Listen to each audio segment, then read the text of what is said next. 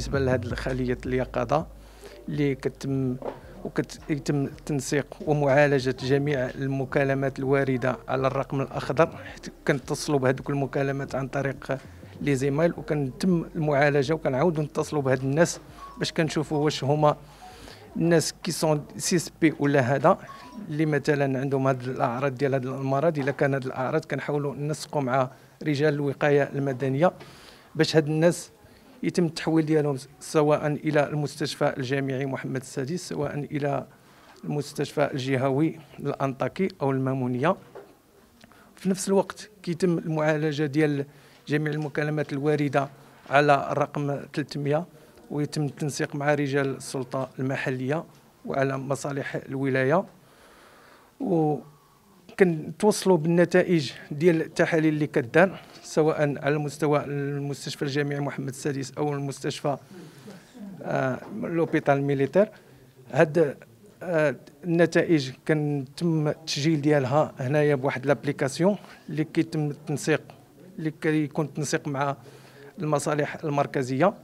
كان جميع النتائج كتم التسجيل ديالها وفي نفس الوقت كنديروا les investigations يعني أي cas positif مريض كنحاولوا المجموعة ديال الأطر اللي عندنا حاضرين هنايا مشكورين كنتم كنديروا les investigations يعني كنعرفوا هاد الناس اللي positif مثلا حامل لهذا المرض.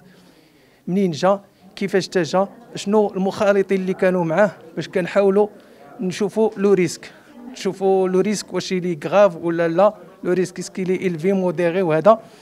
باش كتم واحد الخليه أخرى واحد l'équipe اللي كيخرجوا عندهم الديور كيديروا لهم la surveillance active كيوليو يشوفوهم deux fois par jour مدة واحد 14 يوم.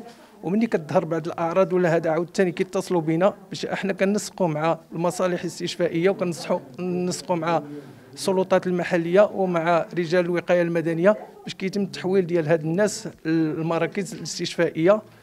من اجل العلاج لا ميسيون ديالي سي لا كوليكت دو دوني في لا فان دو لا جورني كنشوفوا لي ريزولتا بوزيتيف نيجاتيف guéri et décédé pour faire la collecte au niveau de la région Marrakech-Safi. Ça, ça se fait d'une façon journalière, plusieurs fois par jour. حسب لا كوليكت ديال لي ريزولتا اللي جاونا من من من لابوغاتوار دو دو بريليفمون تنديروا des investigations épidémiologiques باش نشوفوا المتابعة ديال المخالطين ديال المرضى ديال كوفيد كنتصلوا بالناس وكنشوفوا المخالطين ديالهم قبل ما يبان فيهم المرض وخلال المرض ومنين منين تيدخلوا للمستشفى.